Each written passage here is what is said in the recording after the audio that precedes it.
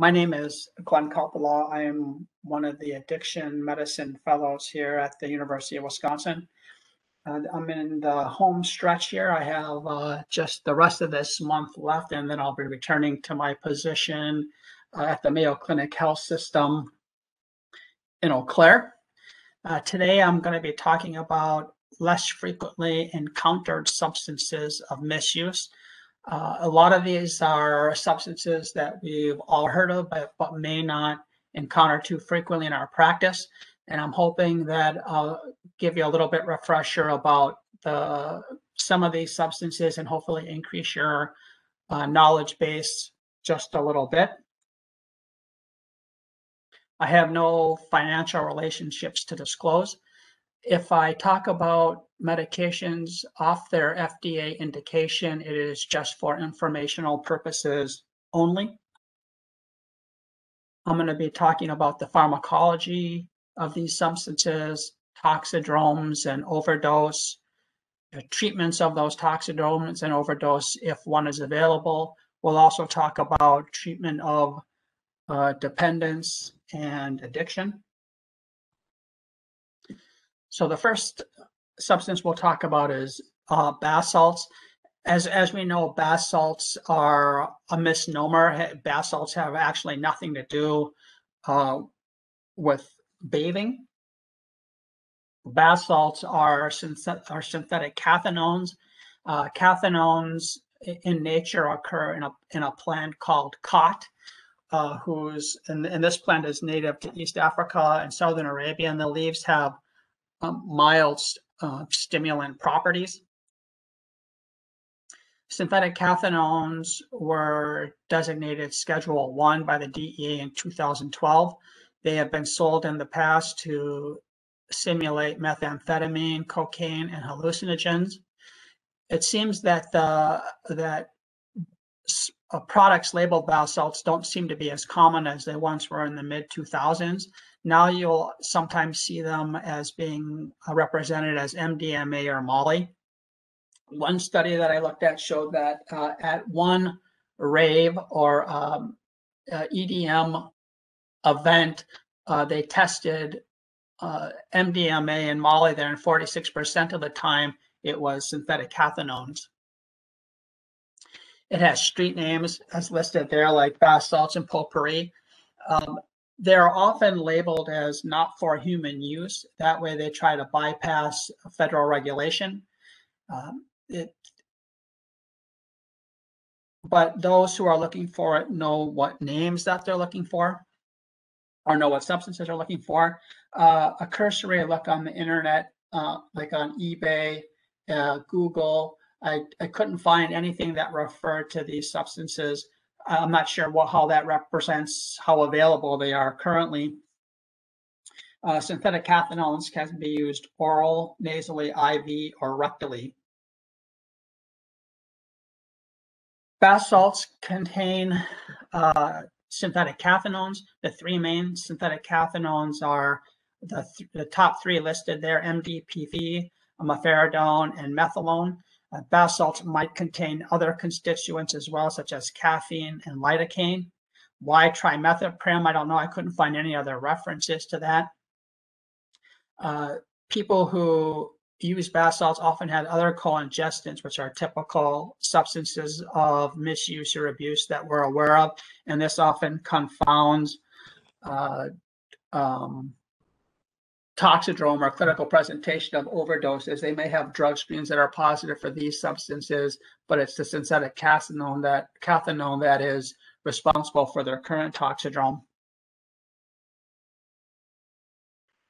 When I made this slide set a, a couple of weeks ago, uh, what I found in the literature is that that in standard lab testing, it's it's generally not available, but specialized testing may be available. But what I found since then is is that there are a number of commercial labs that uh, right or routinely can test for the synthetic cathinones.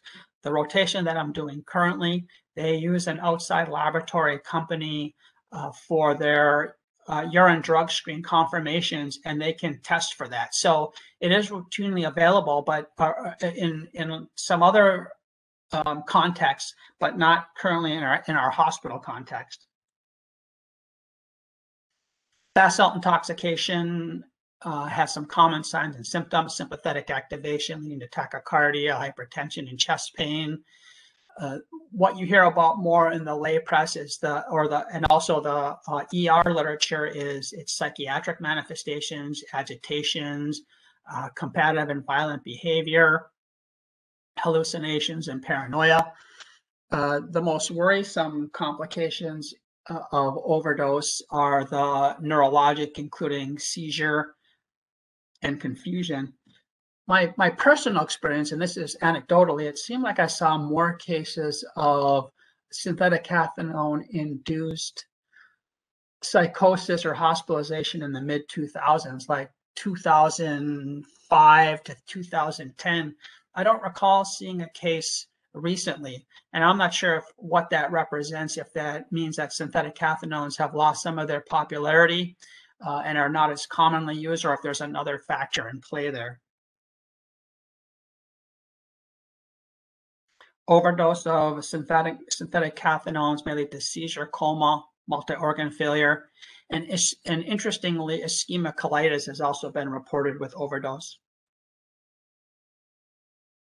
Treatment of intoxication and overdose is, is symptom targeted. The ER and intensive care literature uh, reports using benzodiazepine, especially lorazepam, to treat agitation and seizures. The current recommendation is that antipsychotics should be used cautiously uh, due to the already lowered seizure threshold uh, that uh, synthetic cathinones can cause.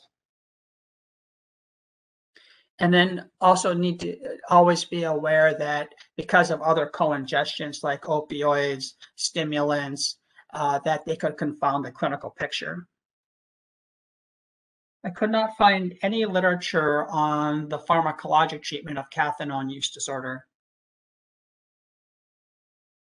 The next substance uh, I want to talk about is spice or uh, and or K2, which is the same thing. I put these two together because spice and bath salts are often mentioned together when I when I look at the uh, lay press and some of the more um, some of the medical literature that's kind of geared toward a general audience, but there are two distinct molecules, substances. Spice is a synthetic cannabinoid or cannabinoid analog that is sprayed onto some kind of dried shredded plant material. So the, the plant material is the um, uh, vehicle to carry the synthetic cannabinoid.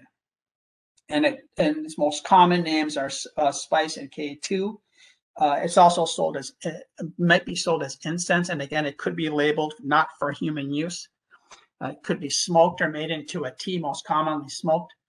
Uh, synthetic cannabinoids were put into the Schedule 1 as of 2012. And when I look at uh, data regarding patterns of use, the last time I could find mention was in 2013, where they said that 8% uh, of high school seniors and 7.5% of 8th and 10th graders had used synthetic cannabinoids within the last year synthetic cannabinoids act on the CB1 and CB2 receptors, but have a much greater affinity and activity than THC. Again, I had this when I made this slide, I put that it's undetectable in standard uh, laboratory tests, but um, I have found since that time that there are commercial laboratory tests that have the ability to check for at least the metabolites of synthetic cannabinoids. Small doses of synthetic cannabinoids mimic the effects of THC, and this is the exact reason that they're sold. Uh, they're sold to mimic THC or cannabis, but uh, be undetectable in standard drug screens, which uh, we now know that there are a lot of labs where it is detectable. Higher doses of synthetic cannabinoids can cause uh, sympathetic activation, tachyarrhythmias, agitation, tachycardia, anxiety, it could also cause uh, uh, psychiatric manifestations, paranoia, hallucinations, uh, neurologic complications such as coma and seizure. Violent agitation, psychosis, and seizures may occur. I think this is the reason why it's often put together or linked to synthetic cathinones because they both have, have this um, potential outcome from overdose. And again, treatment is supportive uh, and may require large doses of benzodiazepines to control agitation and seizure. And again, caution with antipsychotics because the synthetic cannabinoids, like the synthetic cathinones, reduce your seizure threshold. A withdrawal syndrome from synthetic cannabinoids have been reported, including anxiousness, insomnia, and tachycardia. And there have been case reports of treating the withdrawal with a benzodiazepine taper or quetiapine. I could not find any uh, literature or case reports on the pharmacologic treatment of a synthetic cannabinoid use disorder. Since we're moving, since we're talking about the cannabinoids, we'll move from the synthetic to the uh, naturally occurring. I'm just going to touch briefly on Delta 8. Delta 8 seems to have been in the news more recently uh, in Wisconsin because it's technically legal here. Delta 8 is an isomer of THC that's derived from the hemp plant. It's chemically related to Delta 9, which is from the cannabis plant. When you Google Delta 8 in, the, in, in Madison, there are a few places that do sell Delta 8 products specifically. Like Delta 9, uh, it can be um, something that can be smoked, vaped, or consumed. Uh, it has similar effects of delta 9. It's a CB1 agonist causing euphoria, uh, sensory and times distortions, reduced inhibitions, etc. At higher levels, causes a, a, a syndromes that you may see with cannabis over uh, uh, intoxication or overdoses, anxiety, tachycardia, upset stomach, confusion, hallucinations, etc. Uh, the literature in, in discussing uh, Delta 8, I found a couple of case reports where, they, where it was treated similar to a Delta 9 or cannabis use disorder.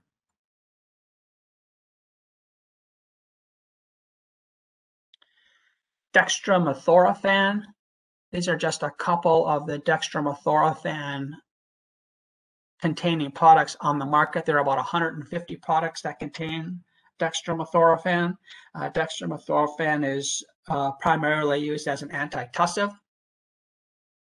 Dextromethorphan has some common street names. I, I, was just looking at some board review information and robo-tripping was mentioned as a possible board review question. Um, robo-tripping is a is they that word robo tripping means that people have a, like a almost like a catatonic state where they're walking but seem to uh, be uh, have muscle rigidity and uh, seem to be unresponsive. Dextromethorphan is technically a synthetic opioid that is synthesized from a morphine-like base, but it does not have any uh, opioid receptor activity. Dextromethorphan is an uh, NMDA receptor antagonist, and which is similar to ketamine and PCP, and that's responsible for its dissociative effects. When you read about the, the chemistry of dextromethorphan, it's how it its antitussive effect or how it how it achieves its antitussive effect is not really known. It was originally developed uh, for potentially for the treatment of um, certain psychiatric disorders, but it never uh, had enough evidence to support that use. Dextromethorphan may also be called um, lean purple drank or dirty sprite. And that is a combination of dextromethorphan, Sprite, and Jolly Rancher candy. It could also be, in place of dextromethorphan, it could also have um, promethazine codeine syrup.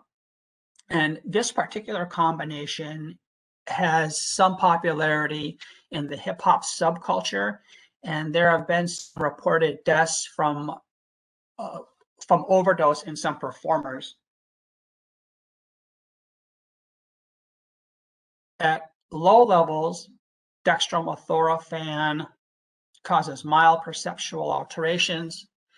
Uh, it could also cause impairment of motor, cognitive, and perceptual functioning. At higher levels, hallucinations and disassociation can occur. Uh, at, at overdose, violence and complete dissociation and cardiorespiratory collapse could occur. I took this slide from a World Health Organization paper about dextromethorphan, and they took it from somewhere they found on the internet where there are websites where you can um, dose your dextromethorphan based on the effect that you want. So uh, if you're interested in uh, dissociative sedation, then you could take uh, 500 to 1500 milligrams of uh, dextromethorphan. And when you when you when you Google this and look at the websites, they call this plateaus. So if you're looking to to reach a certain plateau with dextromethorphan, it tells you what the dose what the dose is that you would uh, take for that. A withdrawal syndrome syndrome for dextromethorphan has been described consisting of severe vomiting, muscle aches, and diarrhea within the first weeks of discontinuing use, followed by night sweats, insomnia, anxiety that could last up to three weeks. Treatment of overdose and withdrawal is supportive and symptom directed.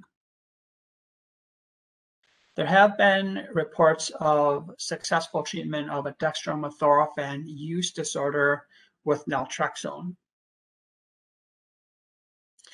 Uh, dextromethorphan misuse came to my attention this year as we were asked to see a 66 year old female in the hospital who was admitted for abdominal pain. And she had a history of alcohol use disorder and bipolar uh, disorder. And in the course of the history taking, she told us that she was taking 15 Mucinex tablets daily, which is about 900 milligrams of dextromethorphan. The, the, the recommended adult dosage, maximum adult dosage is about 120 milligrams. Uh, and she told us that she started using dextromethorphan after she stopped using alcohol about six years prior. And her withdrawal symptoms that we were seeing at that time were uh, tremor, insomnia, restlessness, and sweating.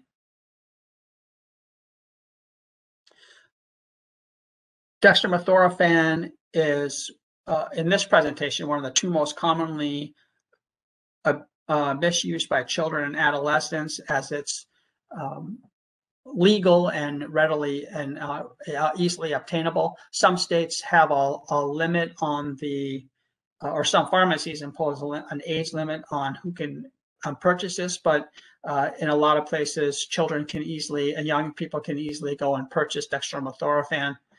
I went to high school in the mid 80s in rural northern Michigan, and I remember that Comtrex, which is a dextromethorphan containing agent, um, was a thing for a while that uh, classmates were um, misusing.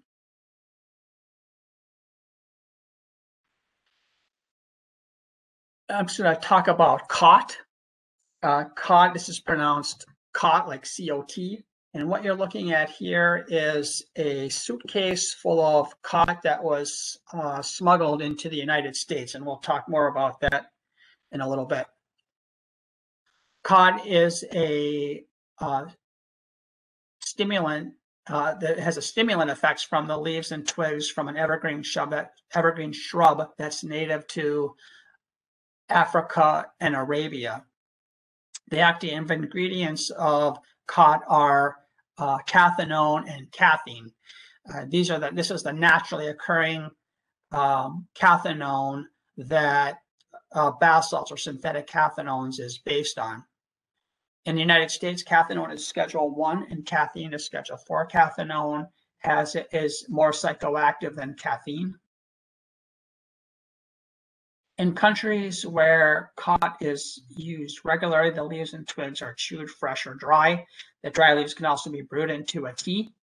Um, khat is used often in, in a social setting when people get together, simple, similar to what we would ex, uh, see in the United States when people get together uh, and might have a few alcoholic drinks.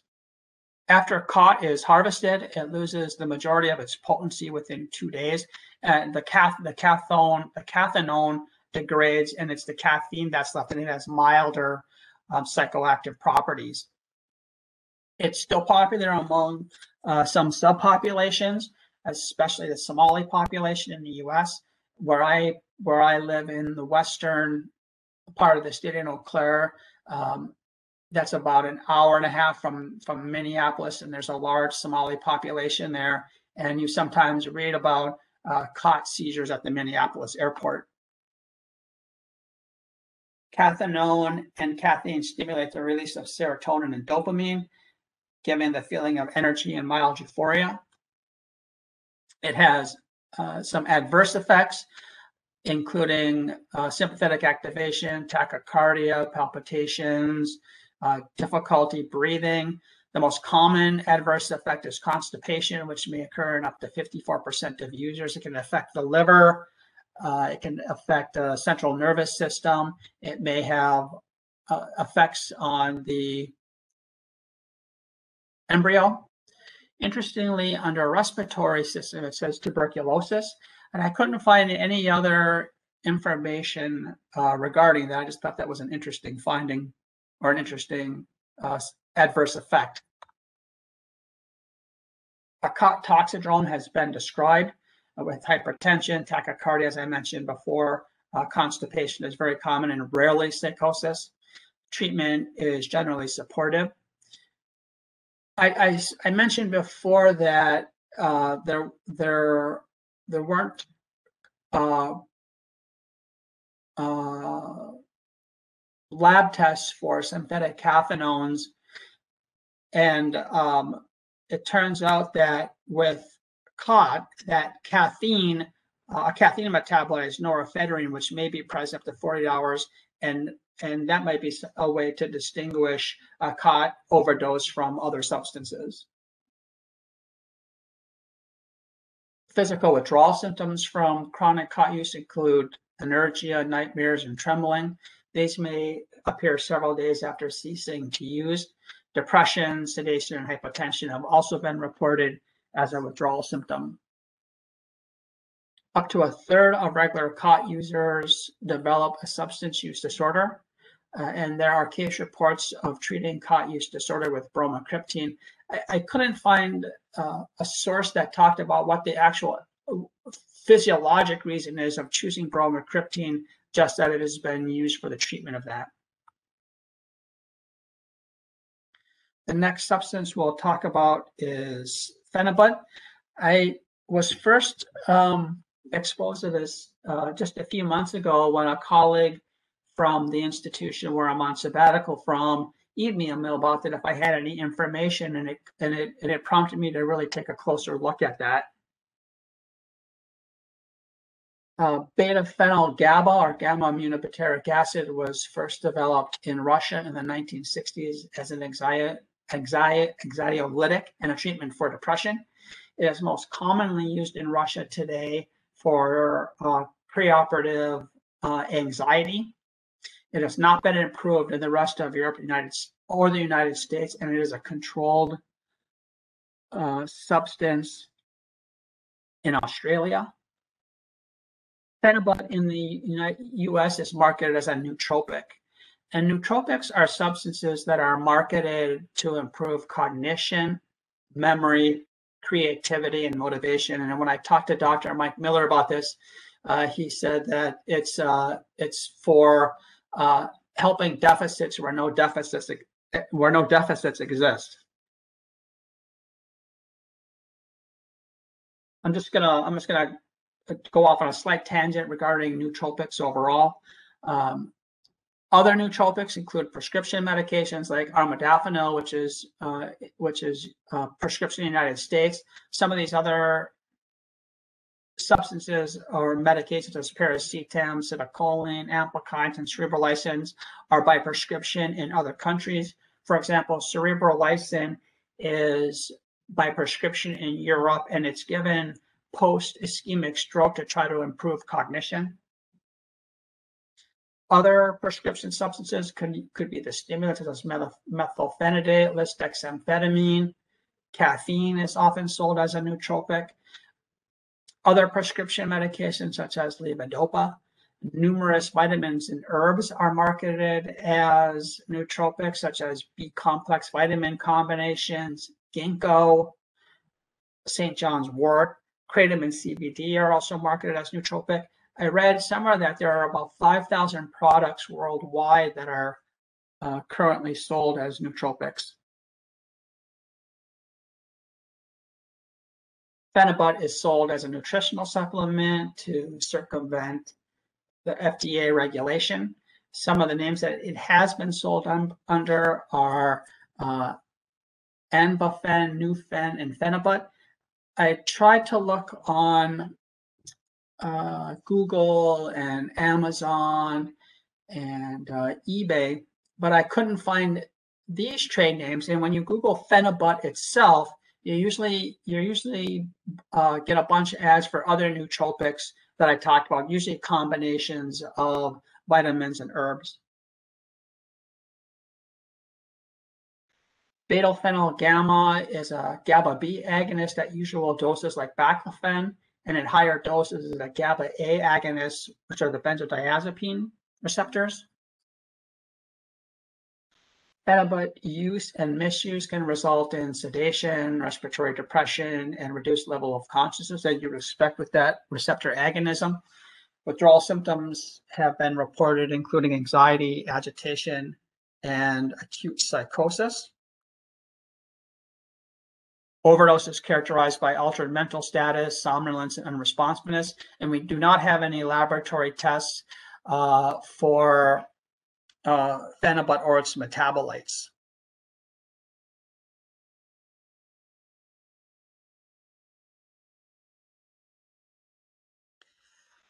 Phenibut withdrawal and dependence. Uh, there are some case reports of uh, treating with uh, baclofen up to 10 milligrams of baclofen for, per one milligram of phenibut.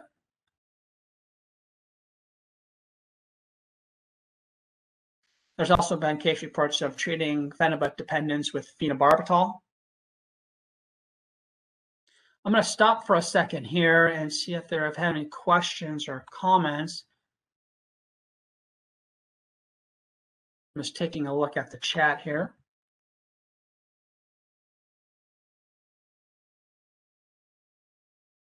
I got a note that somebody wanted to annotate on here, uh, but then I would lose my screen sharing my screen sharing ability. So if, if that if that person wanted to comment in the chat,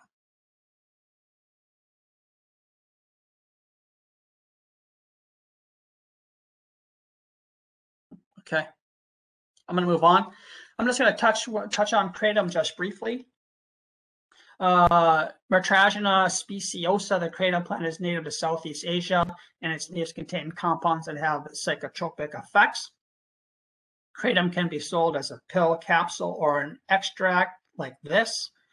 Uh, you can chew kratom leaves. Uh, you can brew the dried or powdered leaves as a tea. Uh, they can be smoked or also eaten in food. It seems that what I normally see is that people are taking it in a uh, pill or capsule form.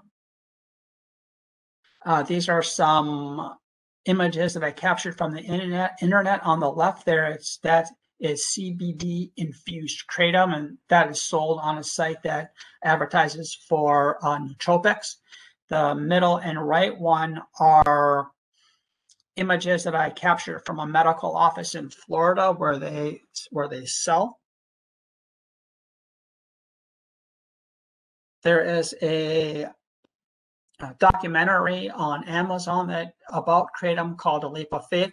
I didn't watch the documentary, but I did watch the trailer on YouTube. And it, from what it looks like from the trailer, is that they're promoting, or the, the documentary promotes kratom as a quote safer alternative to opioids, and as it says in that description, um, but doesn't carry the deadly side effects, withdrawal symptoms, or addiction problems. There are there's another form of kratom called Maeng Da, Maeng Da is reported to be a more um, powerful uh, or uh, potent form of kratom. This may be a marketing, uh, just a marketing thing. I tried looking that up a little bit more and couldn't find uh, any other references. But uh, Maeng Da is uh, is seems to be more becoming more common now. It, it might be that the search engines uh, don't recognize that particular word where they might recognize kratom, or maybe websites don't recognize Maeng Da, but they recognize kratom. Uh, it's been banned in the United States since 2014, but it is not a controlled substance. It is illegal in six states, including Wisconsin. From Madison, it seems that patients have been driving to either Illinois or Iowa to get their kratom supply, and I know that some patients have been ordering it online. What I didn't know about kratom is that mitragynine and 7-alpha hydroxymitragynine are complex molecules with a number of sites of activity.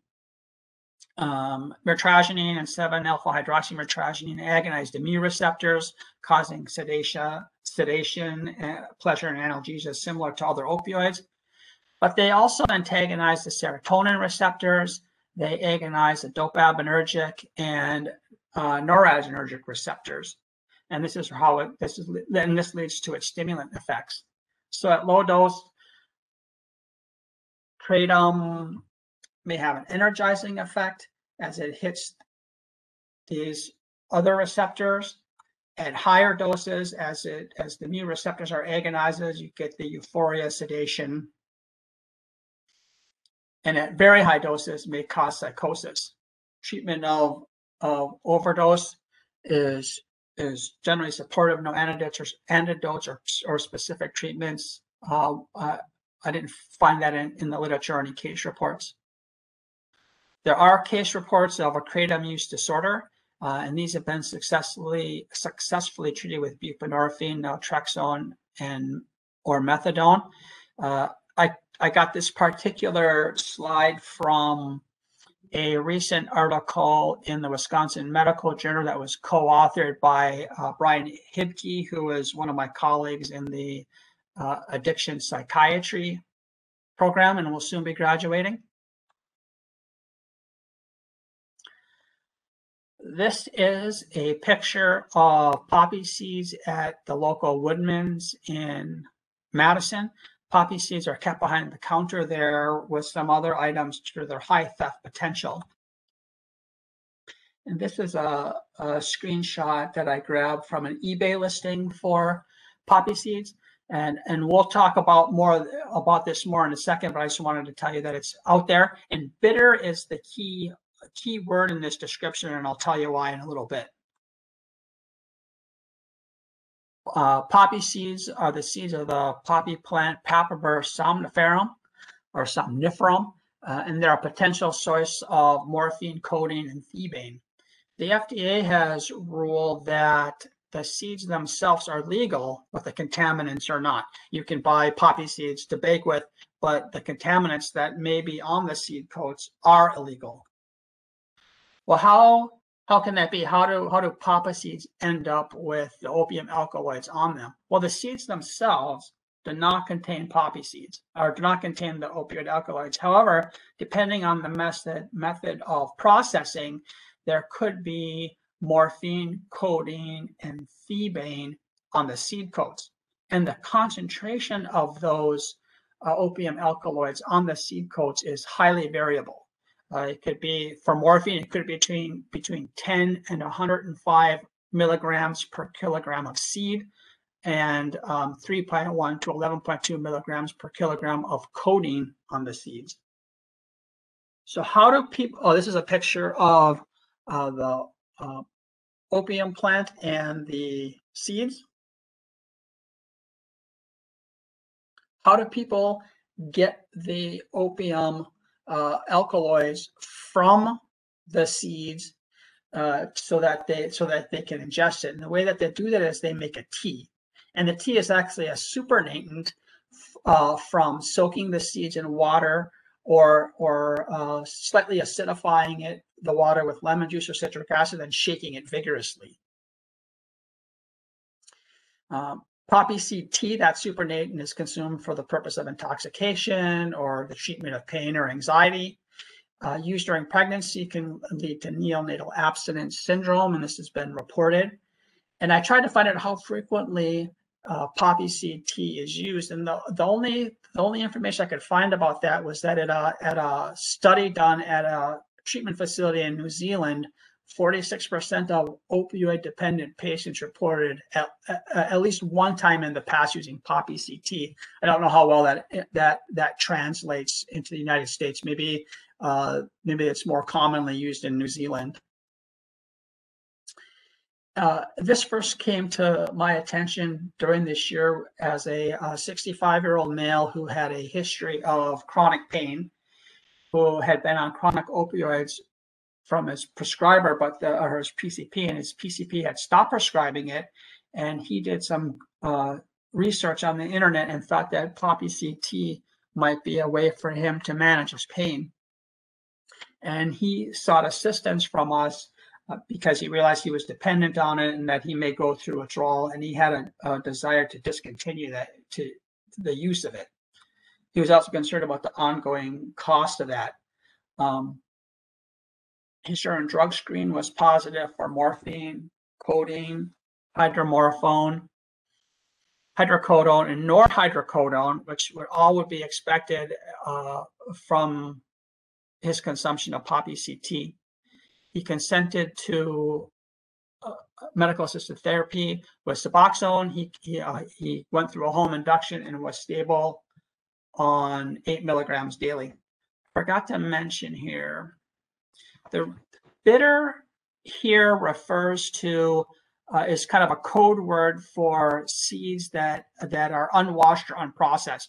When you when you when I did a little bit more digging, the words unprocessed and unharv and um, unwashed were no longer can no longer be used on eBay. So now it seems that the new word for that is bitter.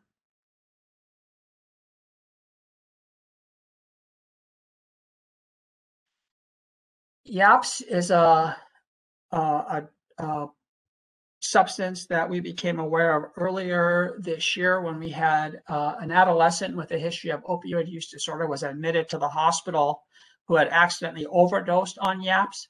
He was unable to locate his opioid of choice and purchased these pills from somebody, uh, and he ended up um, in the hospital and, and admitted to what he was taking. He we don't have a lot of information on this case other than he ended up needing to be intubated and there was a difficult wean due to agitation. YAPS is a pill that contains a combination of heroin, methamphetamine, cocaine, and MDMA. Uh, the, this particular patient was from Beloit. Uh, it, it, may also be sold as Rolo and, and might be represented as being ecstasy or MDMA. Uh, any other, I, I, I tried doing a, a, Google search and couldn't find any further information on that. One of the last topics I want to talk about is the volatiles or inhalants. Over a thousand products have been identified that could be uh, misused, including gasoline, nitrous oxide, air duster, spray paint, typewriter correction fluid. And I have a picture of some of those substances, also hairspray, furniture polish, Sharpie pens.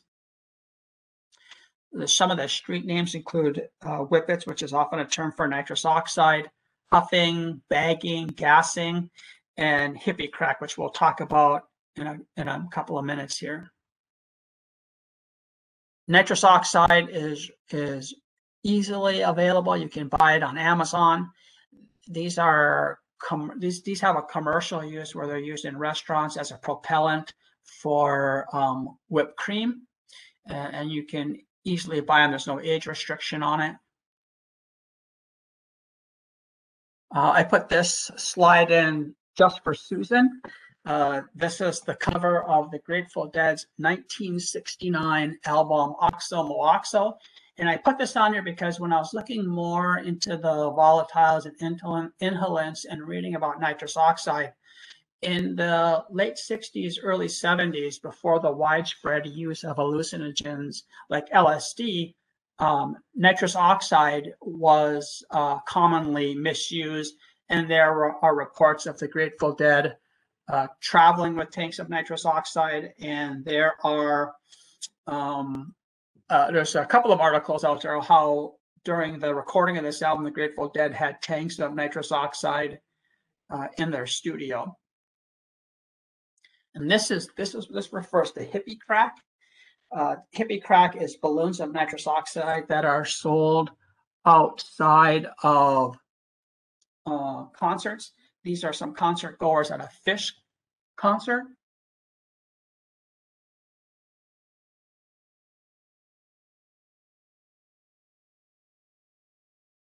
The, the volatiles and the inhalants, uh, as I said, there's uh, there's about a thousand different products that could be misused in this category. And because of that, the exact action of each of those is unclear. The most recent uh, evidence I could find is that there is some enhancement of the GABA A receptor and antagonism of the uh, NMDA receptor. Inhalants are often among the first drugs that, that young people use. About one in five kids report having used inhalants by the age of uh, by the by the eighth grade, which means they could have been used a lot younger than that. It's also one of the few substances used more by younger children than older ones. Same with dextromethorphan. Uh, inhalants, um, solvents, gasoline, uh, spray paint, all of those are readily available. Air duster. The Monitoring the Future study in 2020 uh, showed that for eighth graders, about 12.5% had used at least once in their lifetime and 6.1% in the last year. As as they get older, the the the prevalence uh, generally goes down. Inhalants, however, are a true gateway drug. And there are several studies that show a clear progression from early inhalant use to later use of cocaine, heroin, and uh, IV drug use. In fact, there's a five to nine fold uh, increase. I think one of the ways that this changes my practice in, in seeing younger people is to, to make sure that I ask them about uh, cough medicine, uh, over the counter substances, and inhalants and volatiles. I, I, I think that's something that's kind of fallen off my radar over the years as a family practitioner. Signs of inhalant use include uh, paint, uh, paint stains on the body or clothing. I saw pictures on the internet of people who, uh, adolescents, young people who had uh, died with uh, spray paint around their mouth, uh, sores or spots around, around the nose, chemical breath odor, nausea, loss of appetite. Their clothing may smell of solvent. There might be uh, empty adhesive tubes or other containers. Uh, they might use a potato chip bag uh, to uh, concentrate the inhalant. There might be rags that are soaked in gasoline or solvents, cigarette lighter refills, uh, and aerosol spray cans are, can often be found. Small doses of inhalants lead to uh, euphoria and ataxia similar to alcohol intoxication. Small doses may also induce delusion or hallucinations. Higher doses can produce life-threatening uh, seizure and coma. There also be direct cardiac and central nervous system toxicity. Death may come indirectly from asphyxiation, from vomitus, uh, uh, you know, lose consciousness or losing consciousness with the inhalation device or concentrator over your face. Laboratory identification is rarely helpful because the inhalants are so rapidly eliminated. However, there may be tests available for some solvents such as uh, toluene and benzene. Treatment of overdose is supportive.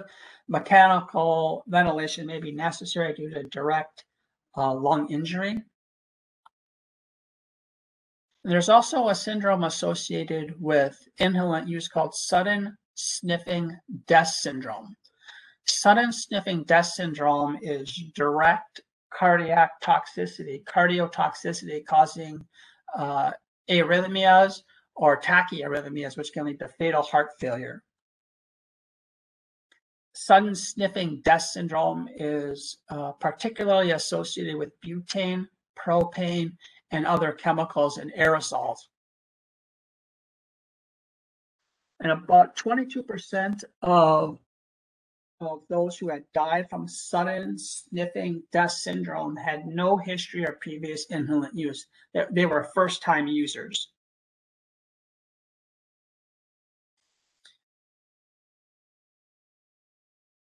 In 2007, I found a case report of using lamotrigine for the treatment of inhalant misuse or volatile substance abuse.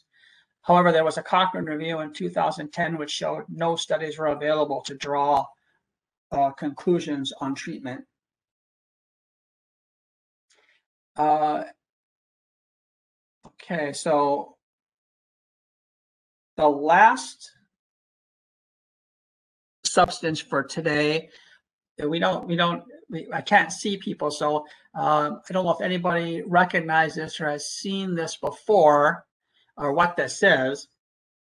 Uh, what you're seeing on the left side of the screen is some decomposing or uh, or bacterial laden meat and the guy on the right side is eating that decomposed is eating decomposed meat and this is something called high meat. And it's the practice of eating decomposed or fermented animal meat.